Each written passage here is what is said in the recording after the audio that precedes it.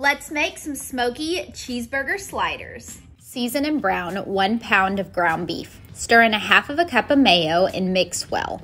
Cut some Hawaiian rolls in half, add your ground beef mixture, add some cheese, some pickle slices, and put the top right back on.